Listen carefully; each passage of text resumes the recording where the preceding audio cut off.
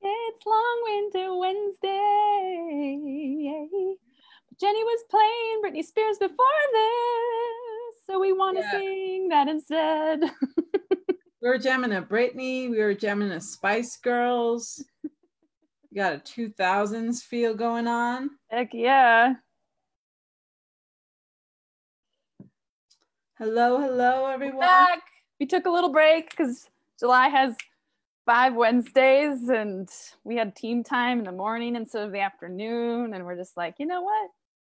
We've been doing this for a few months. We feel good. It's a hot, it's a habit now. It's a thing that we show up for. And also, we could take a break. We could have a day off. Yes, we were a little bit, a little bit tired. A little bit tired. It's a lot. We've been busy, busy. Feel like DEI consultants across the board, from what I know, busy, busy, busy. Yeah.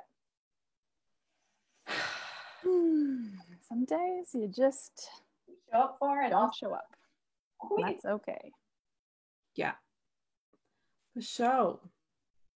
So, hello, hello. If you're just tuning in, my name is Jenny Madrano. I am the Shift Program Manager at Building Bridges. I use she, her, and hers pronouns. And this is Long Winded Wednesday, and I am here with my lovely co facilitator. Would you introduce yourself? Hi, everyone. My name is Maren Johanna Miller, and I use she, her pronouns, and I'm the shift coordinator. Yeah, so we're here today. Team. we are tuning into our topic that we started feels like years ago but july is a really long month. So the topic for this month is what does dei look like in the future? What is what could it look like? And um, originally we wanted to have as many guests as possible. Turns out our people and friends are pretty pretty busy so that's totally okay. Today we're just going to do Maren and i's thoughts. So a good old fashioned long winded Wednesday with Maren and Jenny. Sorry, y'all. We're trying to, you know, mix it up a bit, but and eventually we are excited because we want to transfer our lives into a podcast as well. So if you're like, oh man, I want to tune into this, but I could only watch this little snippet here and like add a comment, or I like don't like using Facebook or whatever it is, no fear. We're going to have it in audio format soon. So you could listen that way in your car or, um, you know, washing dishes like I do or something. Hopefully, this actual recording will be there as well. Okay, so Maren, let's do a check in question before we dive into today's topic, which is how Mhm. long is the long game of DEI? What can you expect in this long Mhm. game?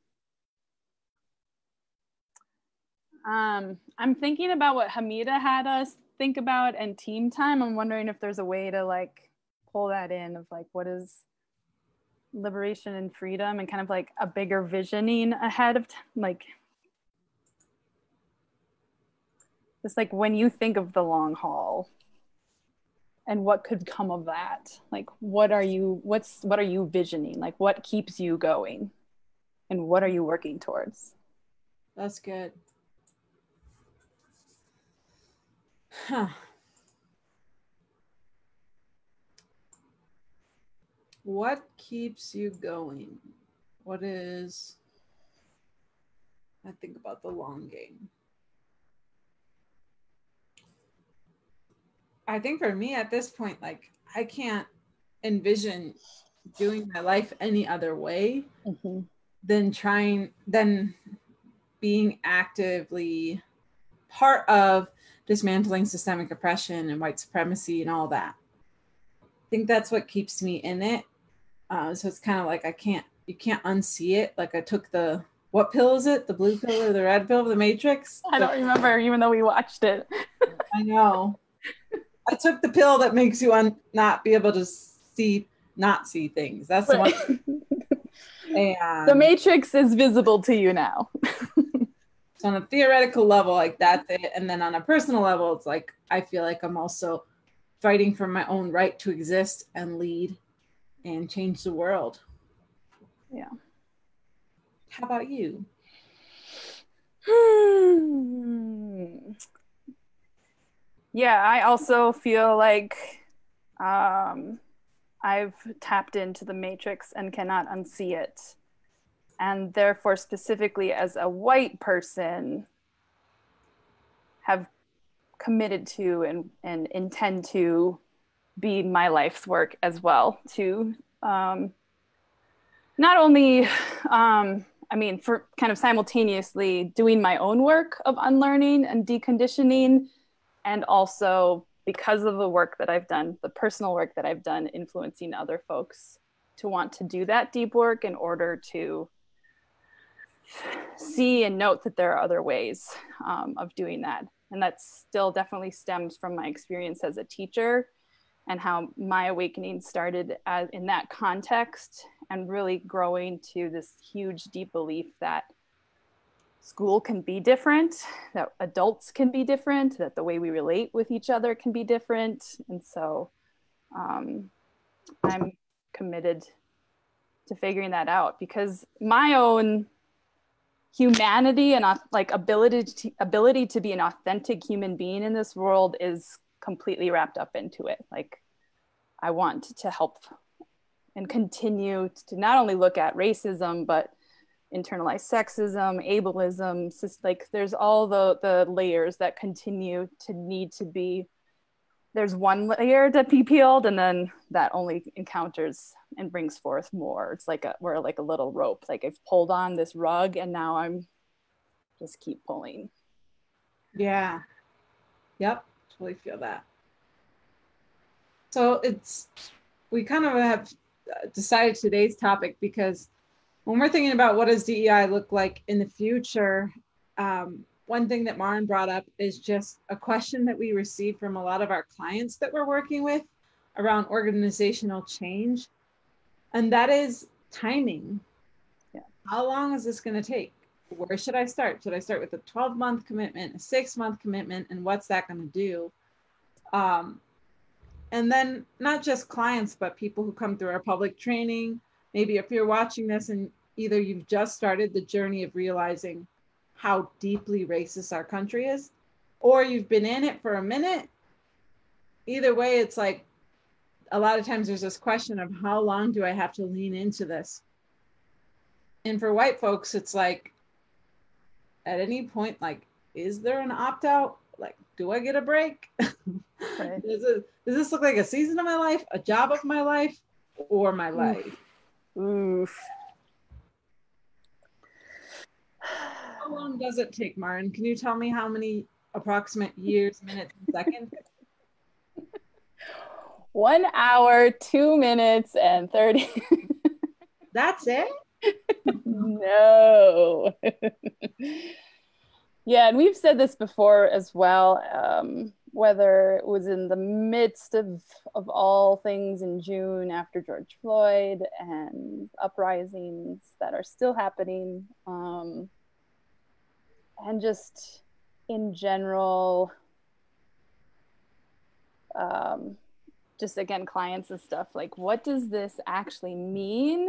And i don't think some folks quite understand what long haul means. It literally means for the rest of your life.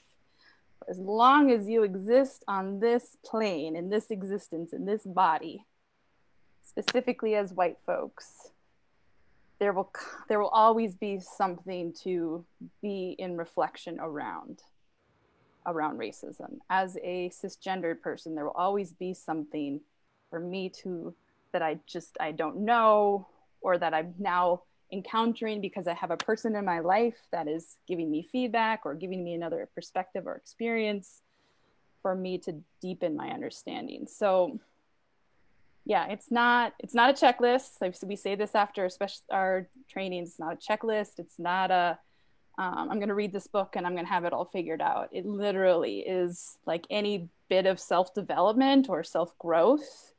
Um, it it is it is there for you always. I would definitely agree that it takes approximately a full human lifetime to be able to really do this, not even get this, to be no. able to lean into this unraveling of the mess that we've all participated in creating. Yeah. Specifically in the context of the US, oppression as a whole, a capitalist system that that really puts some people on top with more privileged identities and people with more oppressed identities on the bottom. And this isn't even a critique on capitalism, but it's it's just it's just what the US has come to is this mess of white men, cisgender, majority heterosexual men, able bodied, born in the US, this crew of older dudes leading everything, dominating everything, dominating the Fortune 500 CEOs for a reason, because it this is how the system was designed. And so the long game, long haul, we use both those phrases interchangeably, is a matter of undoing that. Yeah. And we need me, we need you, Martin, we need other white folks out there, we need other BIPOC folks out there, we need people of diverse identities, and we need some of those white male CEOs to wake up Mm-hmm. and step down, Mm-hmm. Move on from their position. Mm-hmm. That's what it's going to take. Probably all of them. but people aren't ready for that conversation yet. Right. And the in conversations I've had with other white folks too, this idea of like, is there hope? Is there hope that if I um, put any energy towards this to look at racism around me, within me, how I perpetuate and are part of it, if I if I try this, is there gonna like, am I gonna feel good at a certain point, like by the end of this? And um, I also want to like say to that too that there's this very there's always this both and of like holding the tension of of, of like what does this look like? What are you grounded in and why are you doing this work so that you do stay like white folks keep your critical race, race lens on and stay in this to do it? But there i've had to come to terms around that it might it probably won't be in my lifetime that i've kind of i've come late to the game. It took me to my mid 30s to understand this and really in reality how much time do i have left? And therefore it's not necessarily have hope that it changes within my lifetime but it's that i am influencing folks in my sphere in any way that i possibly can so that a new generation that that, that this continues on after me and it could be four five six generations after me that what truly i vision could happen maybe happens Yeah. And I think it's like, I don't want this um, long winded Wednesday to turn into like a persuasion station, right? Because we're not trying to persuade you to to do this necessarily. This is more so for the people who are already like, okay, I guess I'm committing to the long game, whatever that is, and and are looking for like, what is this actually going to take? yeah um, and from my perspective, what I've witnessed firsthand is just the amount of transformation. Like that's such a vague word, but like literally empowerment. People throw around empowerment all the time, but let me tell you, I, there has been no other point in my life where I've felt as empowered as I feel now. Mm. And that didn't happen by accident. That didn't happen by one mentor. I've had many, many mentors in my life. For some reason, I'm a mentor magnet and people are like, hey, hey, hey, can I help you? Can I mentor you? It's taken a multitude of people and it's taken my own agency and understanding my role in this whole thing Mm. And realizing as a woman of color, like, oh, it's not just a cool thing that I become a leader that I become uh, an entrepreneur or a CEO eventually. Like, that's going to change systems. There's going to be ripple effects. There's going to be someone, I could be someone that help a lot of other Latinas see themselves doing that similarly, the person that I never had. And so that that feels like super worthwhile for me and and remaining in this kind of work, knowing that that often happens for BIPOC involved in our trainings. And then on the flip side, there's all these other privileged identities that I've realized that are part of my own liberation. Like, I don't want to be an ableist asshole. I don't want to be an elitist asshole. Like there's all these different ways that I can continually be challenged and be a less oppressive human being. Mm-hmm. Less oppressive, more liberated, mm. liberated. yeah, and it like, I don't know. I think be, maybe because I have such an exclusion wound as part of my life story. I feel like a lot of people who come to building bridges have some kind of exclusion wound hmm.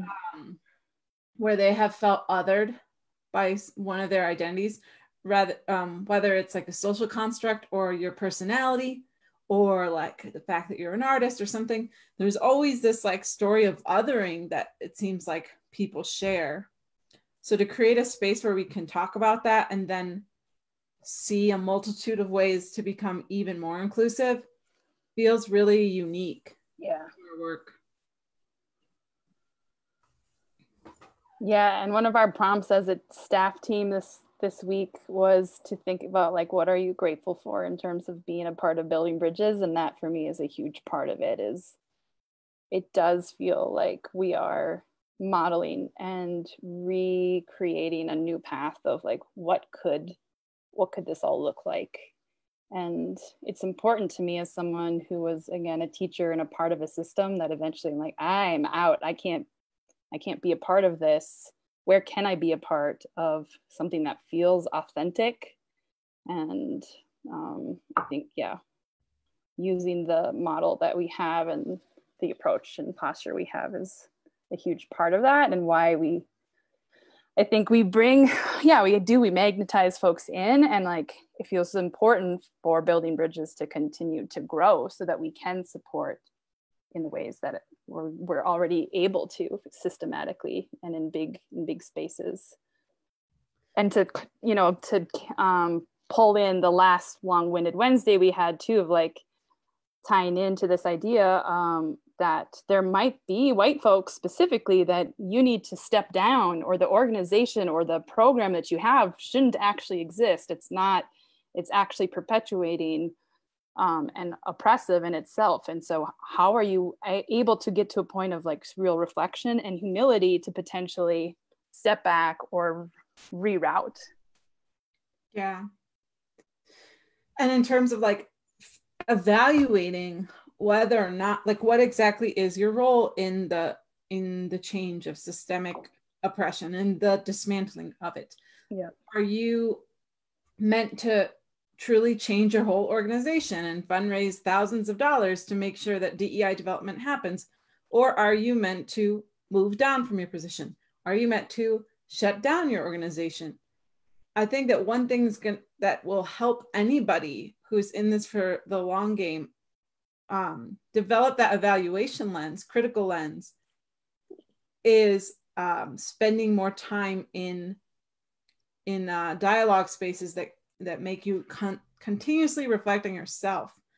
Uh, because one thing I've noticed is that the pathway of DEI development really mirrors like the pathway of just like self empowerment in general. Yeah and just like if you would see a person who like maybe doesn't have a lot of confidence or self-esteem and maybe they're keeping themselves in an unhealthy relationship or um, a toxic family pattern or a toxic mm. workplace it's like the more critical lens you develop of why things are toxic and what healthy looks like the less tolerant you become so what can you expect you can expect to have your tolerance level be a, a much lower. like you're gonna, you're gonna want to do it. like you're. Yes, you and I, Martin, we handle a lot of bullshit, but also we have much higher standards in terms of the people that we even want to work with. Yeah, for sure. And that what you just described takes time whether you like it or not it does and so it is it is that constant reminder that you must go slow to go fast. You must go slow at the what does Adrienne Maree Brown say of like to the to the level of trust of like that there is that this takes years maybe decades. And the stem of the idea of our discussion today too was was literally an organization asking us, you know, like we have a huge amount of staff.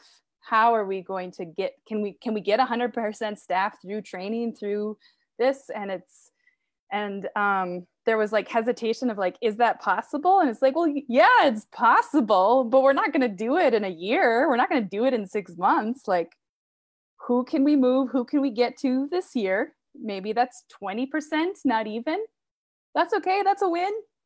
And then those people will influence another group or you know like so it's again that sphere of influence and allowing time to truly like for this to kind of grow um, and really to be realistic of a lot of transformational change um, yeah you're not going to see some real results three four five years into it. And you have to again be so rooted in why that you're willing to be in the mess of those years of making mistakes of learning more of figuring out what does this actually look like? And you might try something one year and then realize oh shit that didn't work. Now we have to start over start over and try something else. So then that feels like oh my god we failed. But actually no you've learned a whole hell of a lot.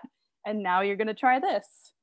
And again par- that's parallel to the self-empowerment journey that yep. every human goes on. Yep. you don't you don't spend most people wouldn't spend three years in a difficult situation um, spending money on d- their own self-development maybe counseling or something and by the end be like well that was a complete waste like that I didn't get the outcomes that I wanted out of it. Therefore, it was not helpful. Like typically, if you spend money on your own self development, you're going to figure out some kind of uh, truths, gems that you can gain from the experience. Yeah. You're going to learn from your mistakes.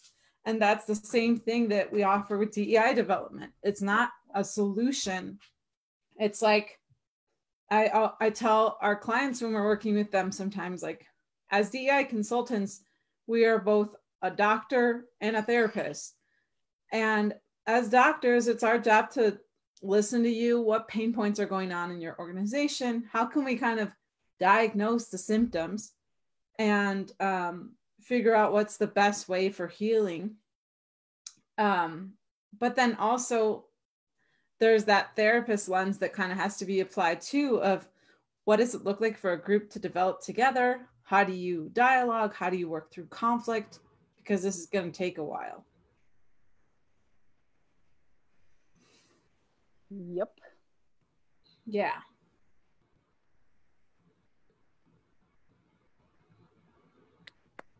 And that's why we've also like we've like you said we've learned to have better boundaries around who we work with and like just an understanding like trying to get a better understanding of like what are people's actual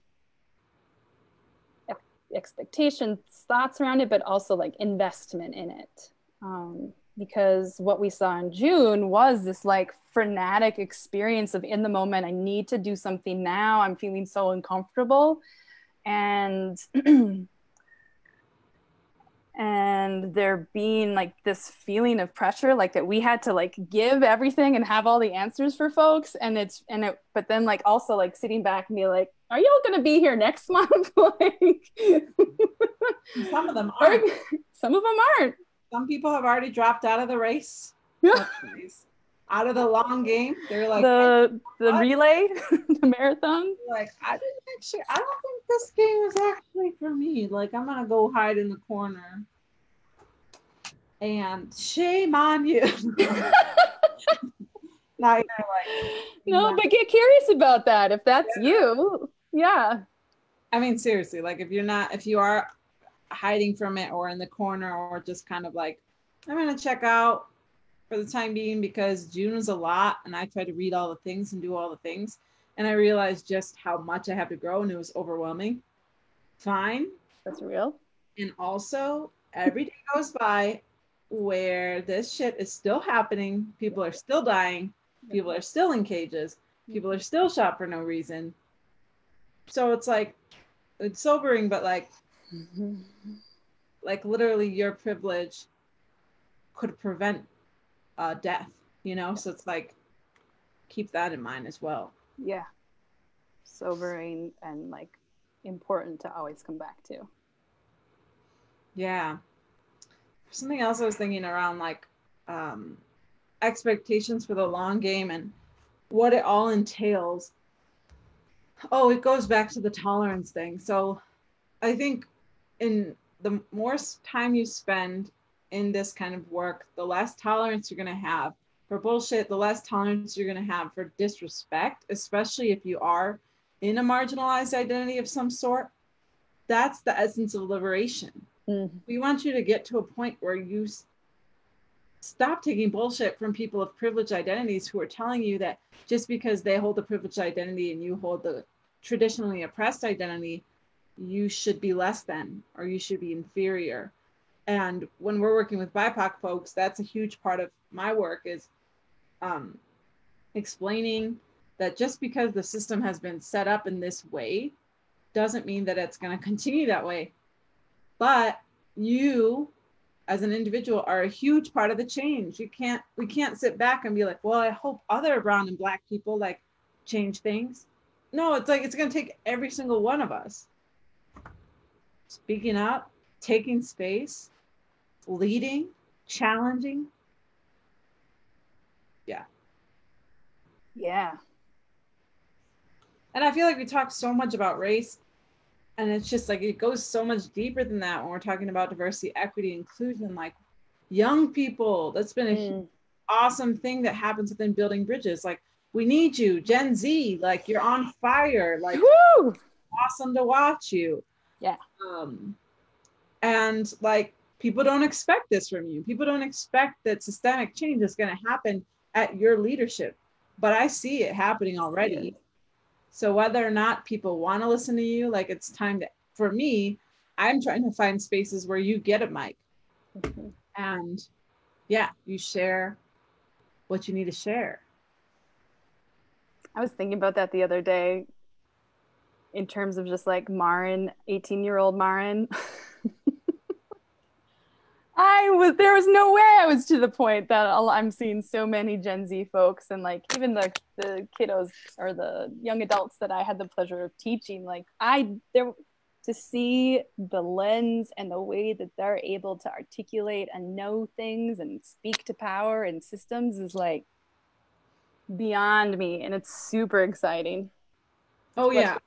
I remember being 17 in this like Chase Leadership Academy program so that I could get a scholarship. And we had like this section where we had to do mock interviews. Yeah. And I was so nervous. And all I had to do was like shake this accountant lady's hand and tell her why she should hire me. I was like, uh, hello, my name is Jenny. And, then, and now I see like our Gen Z alumni, and they're just like, so climate change. What are we going to do about it? The revolution starts with us. Come at me, please. and I'm just like, okay, this is a new wave of of leadership. Yes. And then like if you're talking long game, like that has a huge part to play in um in the long game is bringing in younger people. And for me, I think even having the elementary ed background, I'm like, the little babies out there, our baby kids, our children, we cannot underestimate them. Nope. They're soaking up everything that's happening during this pandemic. They're soaking up all the change, all the stress, everything. And I'm not a parent, so I'm not trying to speak down to parents who have children of their own, but I have worked a lot with children.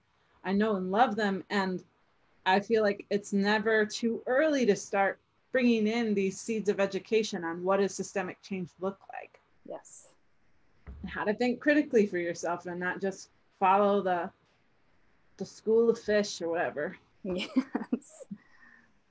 Yes. It feels really important. And that's been, you know, quite a few conversations I've had with white folks, white folks specifically in the midst of kind of sense of urgency and panic of like, I can't be out in the streets. I can't be protesting. What do I do? I, I'm not, I can't, I'm not able to do this, this, or this. And it's like, you need to figure out what your role is and what your capacity is. And for a lot of folks you're a parent. And so how are you doing your work in order to continue to like you said influence and support our kiddos to to do better and be better and not grow up the way that you did that i did that in terms of just not understanding those things for a very long time? And yeah i feel like a lot of it comes down to um, just simplifying you know like with the teacher lens anything can be made simple the yep. better you understand it the more simpler you can make it yeah. and so when i think about white supremacy cultural traits that's something we talk about all the time with then building bridges. Some of those being an either or mentality, uh, tendency for power hoarding, uh, perfectionism, um, or the worship of the written word. Those are things that are so simple. They could start with younger people. They could start with teens or um, middle schoolers or elementary age children who can be challenged on their tendency to power hoard their tendency to think it's either this or that, and there's no in between. Um, and then it can be stopped where the worship of the written word isn't inherited to the same degree. Mm. I feel like I have my own biases around like grammar and spelling and all that. And I'm like, can we just stop like the can we just stop the cultural thing? The grammar policing? Grammar policing. Like yeah. uh it's so not helpful. And I've seen how it's really um, it's really held back adults that I know. Yeah. And including and they're they're using it as a tool for for um, power as well. They're wielding power through it, and they don't realize it. Yeah, it's like, does it does it really does it really really matter that I missed an A in that word? Yeah. Like, is that really going to change the course of this whole training? Yeah. Feels like a power trip when people correct spelling and grammar on things and that's a personal Ooh, that's a journey i've been on i mean that was in high school that was a normalized thing like to take this one grammar class like it was the really cool thing to do and once you went through this class like the teacher was super cool and like everyone who went through it was like a part of this crew of like we know better and we like always correct people on things. And i think i found like power in it too because i'm also someone who has dyslexia and so like always do that feel felt like inadequate in in grammar and things. And so i have seen like after reading how that is part of like white supremacy and power hoarding like it's so real it totally is. And mostly like when people correct spelling or grammar or things like that it's like you knew what i meant. You got the majority of it. There's no need for you to say that. No, and it's like about that. I feel like when I hear grammar police, it's like that there is this assumption that everybody has received the same type, I won't even say level, the same type of education that you received. Yep. So you had an awesome grammar teacher like you had, Maren, or you had literally like three years of this yep. where teachers were like, nope, the apostrophe goes here, or this is I before E except after C like in my pers- in my personal experience i don't remember receiving a strong foundation of grammar and spelling mm-hmm. i only remember like two classes on grammar maybe and the spelling was definitely part of elementary school but it wasn't that important mm-hmm. so like that was my school there's all different kinds of schools out there there's some people who like haven't had that emphasis so how can we assume that everybody's going to think and write like that? Huh. Ooh, didn't know we were going to tap into that, did we? okay, wait, We're talking about the long haul and we go to grammar. it's part of it. it is. Free the spelling. Yes. So it is. It's finding those spaces and places of like, I've I've always thought this, or this is my experience of this and how oh. am i opening and softening to that there are other experiences and there are potentially a lot of other ways to be around this concept or this idea or this way hmm. of being and like where can i be open to some of that? And also maybe like reflect like is this actually working for us? No like where where could we go instead? Yeah. If you haven't noticed things are changing very quickly. Things are shifting. There's space in the collective, there's space in the world for a change to start happening or to really like get be getting momentum. and so one thing i would say that you can expect whether or not you are an active participant in the long game of dismantling systemic oppression everything's going to be different. Like things are changing. And i feel like i've heard this from our friend Asetu a lot of times. Mm-hmm. they've said um the old like pretty much like the old way is gone. Don't expect that to come back up. Yeah. Things are going to metaphorically burn maybe physically burn i don't know i've already but old systems are crumbling they just can't exist with the level of awakening that's happening collectively yeah. you can only keep people super exploited and working within these systems as long as they're numb to it as long as they're unaware of, of their own power. When we realize our own power, it's game over. Like it's like the whole thing's going to start shifting.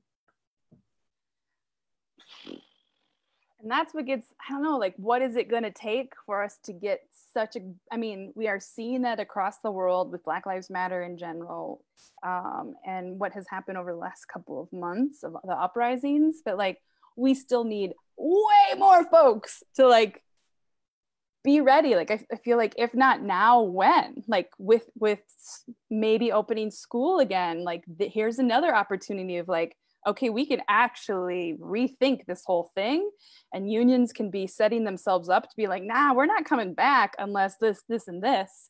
And parents you don't you want your kids to go to school because you want your own time back and you want you know be to be able to do the things you did while kids were at school like how are you going to show up for public schools for your schools? What are you going to help change and and um, advocate for? Like i feel like there's some very real tangible things like okay so now are you gonna? Because here here's here's some real ways that we need to show up. And are you going to? And it kind of feels like it's like these moments where in the past decade i had i found myself thinking when would that how could that ever change? Like the only way it could change would be long term, um, minuscule inch by inch changes, like the public school system in the US.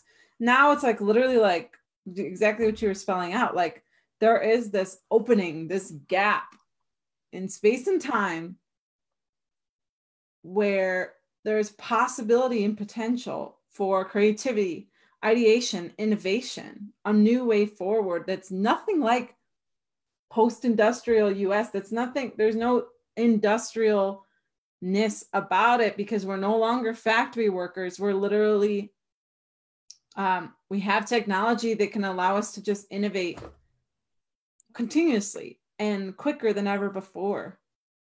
Yeah. And you were, I don't know if this was in a in Long Wednesday or one of our own conversations, you were mentioning that too, of just like organizations who want to do diversity, equity, inclusion, but they're coming from this lens of this is how we do things versus what you just mentioned. Like, what, what about that there's actually opportunity for creativity, innovation, doing something different, looking at like, we're not trying to fit back into how and what we were doing before, but like, where can we really have conversations and um, take the time, as we're saying, the long haul to truly like, what can we do better here? Like, let's actually do better here. yeah. When before in our lifetime have we had such a pause yeah. on everything with this pandemic, a pause on the way work happens, a pause on like literal literal traffic. Yep. And yeah, it's just like it just seems like there's an open opening. So the long game, the long haul, I don't imagine that it's going to be us having to just make tiny changes over the course of like a century hoping that things change like literally 2020 there is this opening for the long game to look completely different that I never expected in terms of how how quickly change could happen because with people opening up to the possibility of DEI development and handing power over to consultants like us, all of a sudden now we have responsibility and ability to influence who's in power within all these organizations. Mm-hmm. I'm talking about me and you and all the other, uh, especially people of color facilitators out there who are getting to speak to powerful people and tell them, hey, it's actually time for you to move over, make space for these other voices. Yeah. Literally. and the ideas over. are already there. Like there's so many ideas. Um, and I could speak from my own experience, but for many people I know who have had to live with marginalized or oppressed identities, be it race, gender, ability, citizenship status, like you have to think so out of the box to figure out how to navigate daily life. I have to think about all the ways in which um, being a woman or being a Latina is possibly preventing how people see me. So let me come up with creative ways to show them how awesome I am. Mm. And it, when you have all these people having that much innovation, suppressed innovation, and out of the box thinking at the bottom of your organization, when you give them a voice, you're going to be like, oh my God, I had no idea that Lisa even thought like that. And it's going to be like, no, duh. But like, yeah, listen, because she's been thinking about it for years and years and years. And you, it barely just crossed your mind in June. Yep.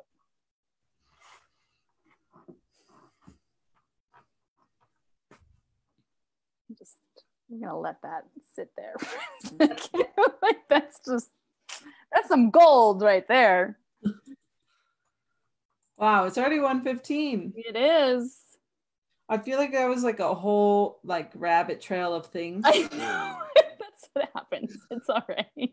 So if you're watching this and you tuned in at any point or you're watching this after the fact, thanks for staying. Yeah, thanks for checking in. Hopefully it, it makes some kind of sense.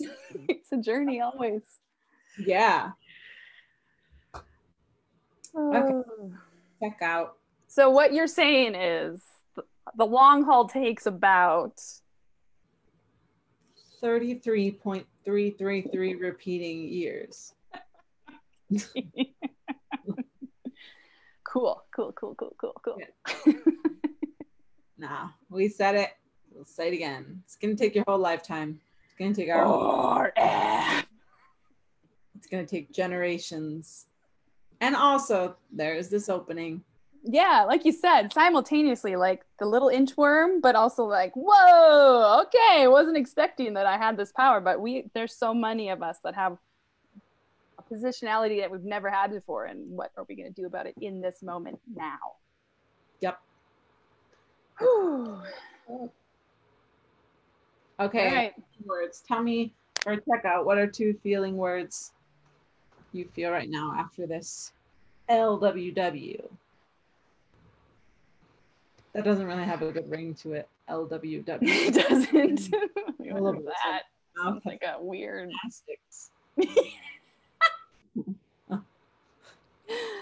um, I feel both like expansive and like dense. Like I think that's where I sh- where I'm it's a place to be always and like the severity and the like realness and the density of why this needs to happen and why i as specifically as a white person should be engaged in racial equity and transformation in myself and the spaces i'm in. And also like to talk about it to to think about it to have permission about it and, and word and like language around it feels really cool and exciting how about you I feel weighty, tired, and eager. Mm. Okay, well, thank y'all for tuning in. Hopefully, you got some good gems, had some time to reflect on your own thoughts and processes around the long game of DEI. And we will be back on next week, next Wednesday. See you then. Bye.